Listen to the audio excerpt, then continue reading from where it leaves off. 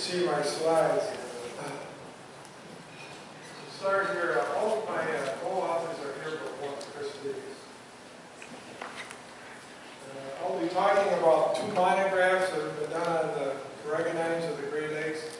Uh, The first one was done by Koelz, uh, published in 1929. And this is the shot of Koelz after we uh, gave up working on uh, coregonines. The monograph was published in 2016, there's the author's name. And This just focused on uh, Cisco's. My objectives, to update the status of the shallow water Cisco dams for Lake Huron based on 2016 sampling. So this is an update from the last monograph. Uh, to uh, compare the utility of ratios versus the NOVA for morphological differentiation, and to uh, propose a method for measuring morphological plasticity under certain circumstances. First, uh, what did we know coming out of the uh, most recent monograph uh, on uh, Cisco's on Lake Huron? Uh, First, the uh, the uh, typical artedi was thought to be extirpated, and it was the formerly dominant shallow water Cisco in Lake Huron. This uh, Manitou, manitoulinus form, the middle one there, was, uh, status was uncertain. It was described by Koelz from only one location in all of the Great Lakes, much less Lake Huron. And uh, this uh, false albus, which I'm now starting to call the short-head Cisco, was uh, newly described uh, from only one location in Lake. So those were the knowns. Uh, So my talk, the rest of the talk is going to be based on eight morphometrics uh, and one heuristic. Hard to see it here, but uh, body depth, uh, head length, pre-orbital length, orbital length, dorsal fin height, uh, pectoral fin length, and pelvic fin length. Those are the eight uh, morphometrics, and I have one heuristic, which is the total drill radius. So first, the racial uh, method of comparison.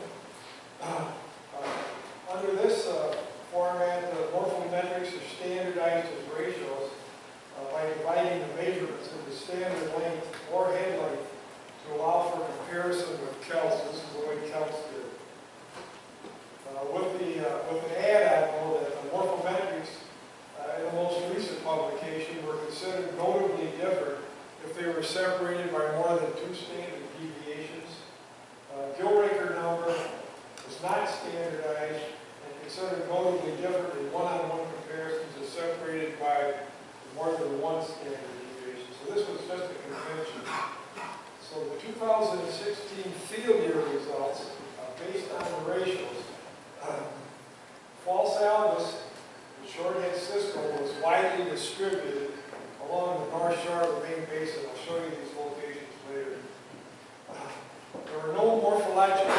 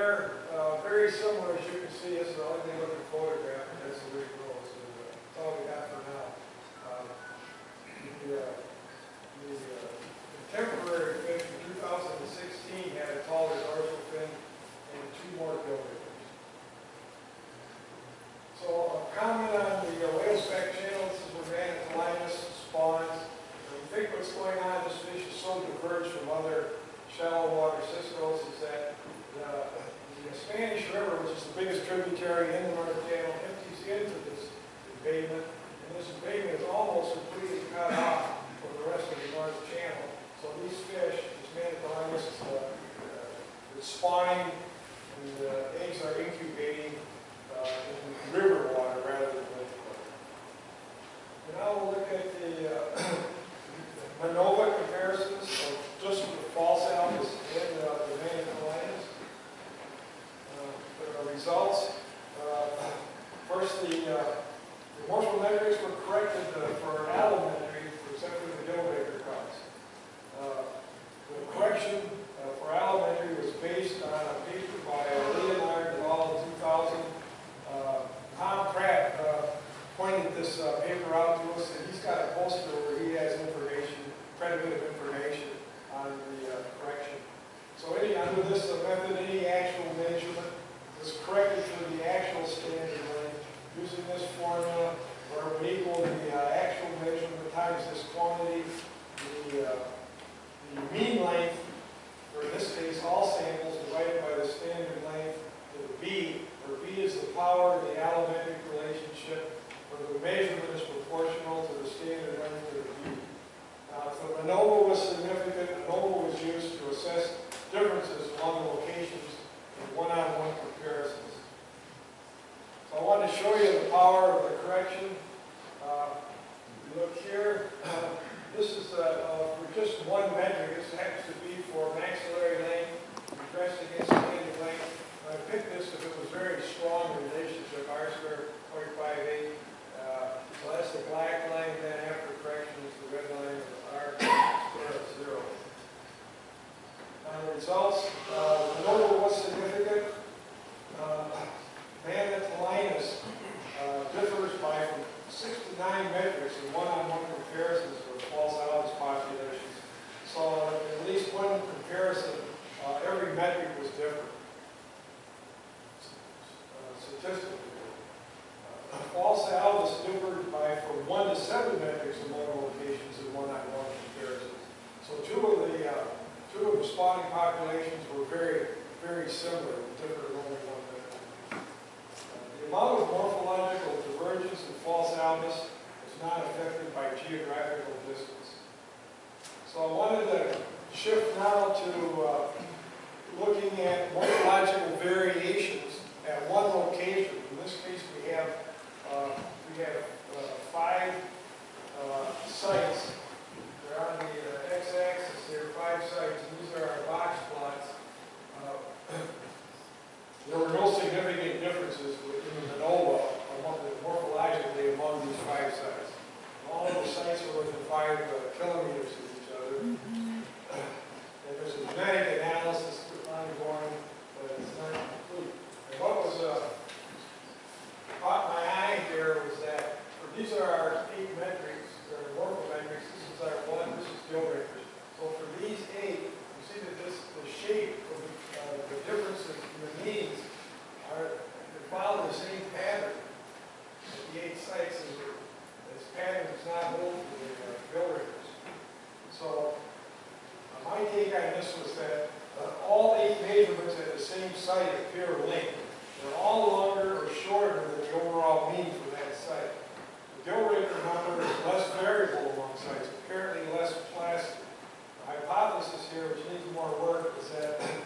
there may be enough natal homing to allow detection of differences in morphology due to plasticity, but too much strain for genetic uh, differentiation. My overall findings, the ratio method appears to work well for assigning individuals to one of the main forms within a.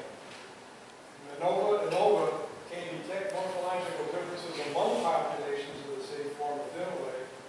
Plasticity quantifiable using size-corrected measurements. Thank you.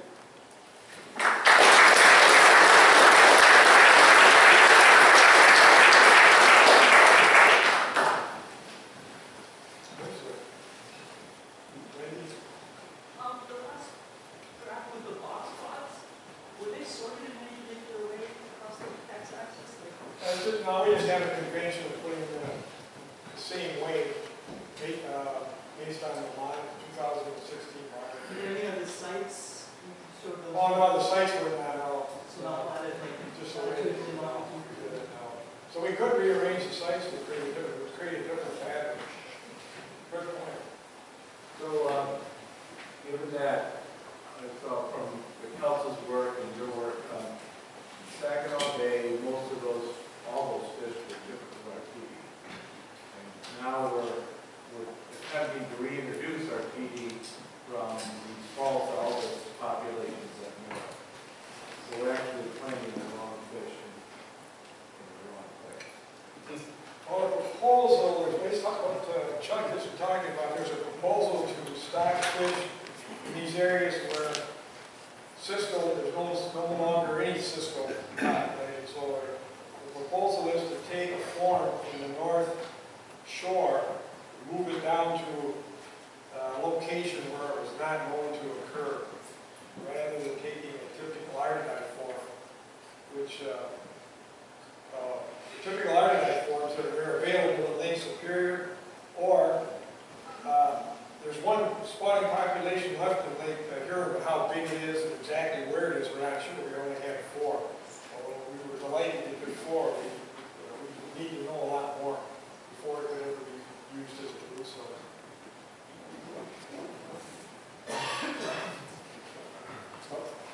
Randy, how much do we know about that manitoulinus and uh, where it spends its time within that embayment? Or it uses the rivers at all, or comes out in the North Channel at all? Do we know anything about, probably don't know much about the movements of that form, do we? Well, we know very little about the movements of that form. Uh, uh, Koelz uh, noticed five Cisco's that were integrated between typical artedi and anaphylaxis. Uh, These were taken outside of the Whalesback channel. He noticed these, and made a special table, I think table 70, in his monitor to show this. That just, he thought that these, the manitoulinus was an integrated with typical artedi because he found these five that were integrated. That doesn't seem, that doesn't, uh, that seems doubtful to me because even though these fish, some of these, the larvae could come out of the Whalesback channel during, uh, during development. So you could get, you could get very get integrated. Or were those, were those fish captured by Chris Davis within the channel, or like within the, that? They were, yeah, they were, they were captured within, uh, within very, very close, probably within a couple of kilometers where Koelz had, because Koelz had his location exactly, pretty near exactly where he was, a dot on the map. And, uh, the 2016 sets were in the same location, almost a couple days apart, 99 years and a couple days apart from when council's there. It's amazing, I had two days off from when council's there.